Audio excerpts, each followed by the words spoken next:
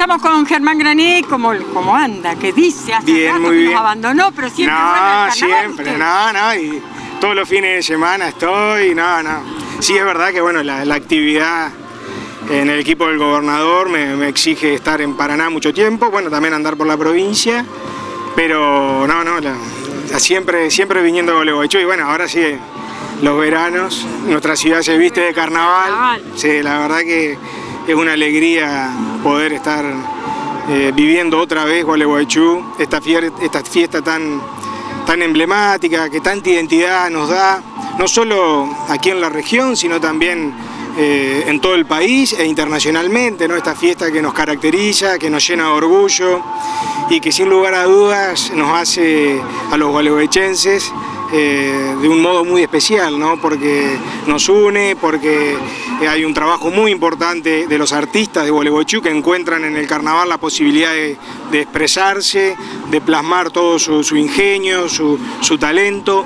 También los clubes de la ciudad, el hecho de que esté organizado por los clubes, eso todos sabemos que el producido del carnaval se vuelve eh, en acción social en acción deportiva, en acción cultural por parte de todos los clubes, destacar el rol de la dirigencia también de todos los clubes, así que realmente es un evento muy, muy gualeguaychense y una nueva edición con el acompañamiento, por supuesto, de la municipalidad, del gobierno provincial, del gobierno nacional, así que esperamos que sea una, muy buena edición porque le hace muy bien a nuestra ciudad, le hace muy bien a nuestra ciudad. Ahora, Germán, vos recién hablabas de los clubes.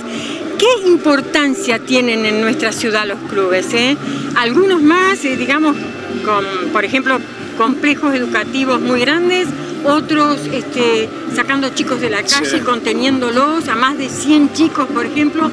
Es- no sé si en toda la provincia se ve esto. La verdad que eh, primero lo, lo que recién acabas de decir lo he hablado con otros dirigentes. El hecho particular, primero lo- el rol de los clubes en general es indudable, ¿no? Como, como motor de desarrollo, de inclusión social, porque son un- la, la posibilidad concreta de que los chicos estén eh, y tengan propuestas deportivas, culturales, educativas, que se encuentren con lo que significa el encuentro, el no estar en la calle, sino estar en un lugar como son los clubes, que permiten el trabajo en equipo, que permiten la diversión. Entonces, son lugares donde se aprenden buenos valores.